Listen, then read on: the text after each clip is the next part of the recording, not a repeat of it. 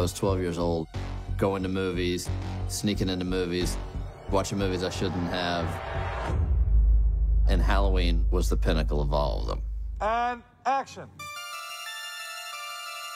Over the course of the franchise, I've heard so many crazy ideas and pitches. David and Danny's take was very original and different.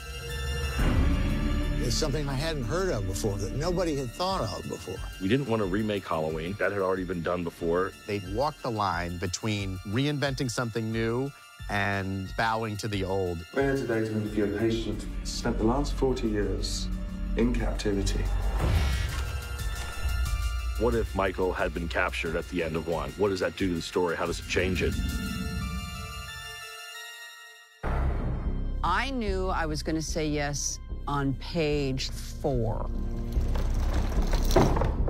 We just thought Laurie Strode's a pretty interesting way in. Why don't we find a new timeline that could connect to the first movie and we can explore a different path for her? To me, it's really about these three generations of women who are deeply affected by this incident that happened in 1978. Three strong women taking on a unstoppable force. I have tried to protect you and prepare you. Finding the arc of Laurie's journey 40 years in the future, where she's basically a character frozen in time. Very broken person, but a determined person. We have to hunt him down. It's been a really awesome experience to watch her revisit this character. I'd say the second she turns, starts to Okay, back, great. David loves doing this. First time I watched Halloween as a kid, I was so traumatized. For me, it's coming full circle. Dad, look out! It's being in charge of my own demons. It's taking man of my nightmare. And for once, I get to tell him what to do. I'm gonna have Marion stand in the doorway right here with her back to us talking on the phone until this shadow has passed.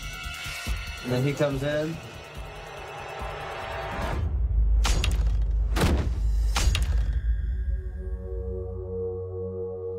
I've written almost 50 episodes of TV and a few screenplays, and all that time I've barely killed anyone. And if they were killed, they deserved it. And it's weird to kill innocent people. That's the fun of it. You know, they are going about their day and they don't know they're about to get killed. My favorite death sequence is Oscar getting impaled on a fence. It's based on an idea I'd been haunted by for 15 years. You come in, stab, and then pull. And I've thought for over a decade if I made a horror movie, I would have to include that moment. David helped me conjure up that fear, and he got like right up in my face and everything. Please, dear God, help me! Help me! I had no idea how hard it was to do a death scene. Screaming took the wind out of my sails for a week.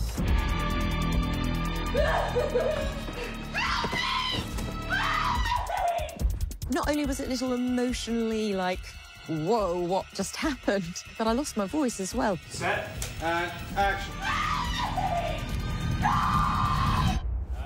Go take a breather. Really nice. As soon as you're kind of dropped into those circumstances, and you have somebody dressed up as Mike Myers, and you have somebody with a knife, a part of you kind of naturally kicks into that like adrenaline mode. He was standing right there in, in the door.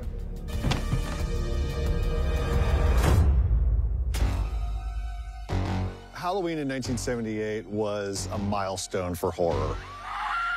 Something about the simplicity of the first Halloween makes it timeless. We weren't really allowed to be watching it, but we stayed up later than everyone else. And I was like, screw you, man, I'm gonna see it. It just, just bit into me. It scared the shit out of me. Nightmares about it forever. What we wanted to do was make a movie, and we wanted to make a scary movie. And that's all we cared about. Camera set, we're rolling, rolling, rolling. Stylistically, we tried to approach it in honor of the film that Carpenter created and trying to re-engineer that in a way, put a twist on that. We were back on shady streets in Haddonfield and kids and trick-or-treaters, and it felt very reminiscent. David Gordon Green has taken all that has come before and taken it a giant step forward. I think they had the tone of it right, right from the beginning. A lot of thought, a lot of care. filmmakers who speak a creative language with each other. You scramble, and then you start to scramble, and then we'll cut. Great. And then that's as far as we go. It's a really special, specific mindset that everyone shares coming into this project for their love of the project.